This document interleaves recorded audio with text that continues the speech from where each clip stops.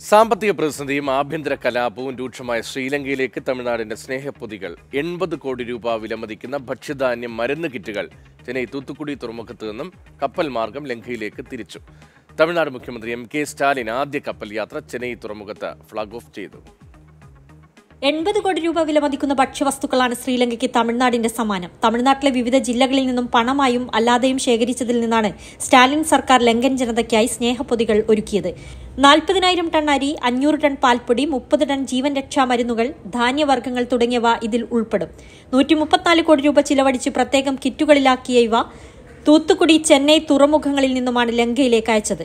ഉദ്ഘാടനം ചെന്നൈ തുറമുഖത്ത് മുഖ്യമന്ത്രി എം കെ സ്റ്റാലിൻ നിർവഹിച്ചു.